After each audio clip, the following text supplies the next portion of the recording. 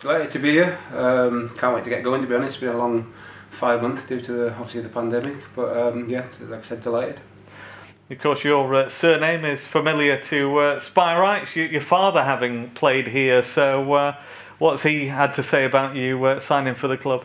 Yeah, obviously I spoke to him briefly on it because it happened so quickly. But um, as soon as he heard about it, he said, you know, what a great club. Obviously, shouldn't be in the league they are really. So he said, get it, you know, go there and get it back to it where it's uh, where it should be.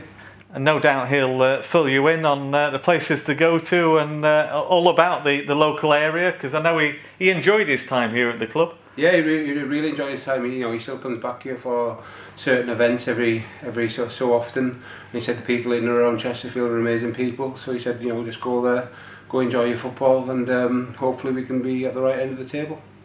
So how did the move come about? When did you know there was interest from uh, John Pemberton in signing you? Um, obviously, I had a message off the keeper coach first and foremost, just expressed their interest, and then, to be honest, the day later, it all sort of happened really quickly. Um, and you know, with obviously the financial difficulties at the minute surrounding the whole world, um, you know, I thought, you know, what a great club to, to you know, jump at the chance to get back playing football. So it's been uh, an unusual time, to say the least. Last few months, have you been keeping yourself active? Yeah, I've been driving myself insane to be honest, but um, you know, it'd be good to get the gloves back on and um, you know, and get back out in the grass with you know, meet meet my new teammates and uh, you know, something I'm looking forward to. What would you say your strengths are as a goalkeeper?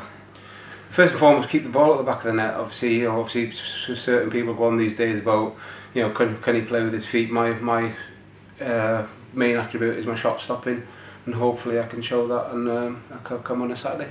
You know the National League. How important is that that you uh, you know this sort of level? Yeah, you know the level, and you obviously know the players that you're playing against as well. So it's um, you know I've got experience playing in this league. I've got experience playing in you know League One and League Two as well. So I know obviously all about the league. So it's um, you know it's a, an exciting time, and like I said, hopefully it can be a successful spell. here. And what's John Pemberton told you about the the hopes and ambitions for the forthcoming season? It's straight and simple. He said, you know, we're going for promotion. Just um, and that's that's that's the bottom line. He said we're not going to take anything less. Obviously, that's the that's the aim, and hopefully we can um, you know get off to a good start and uh, hopefully bring the fans back here in, in force and and have a good successful season together.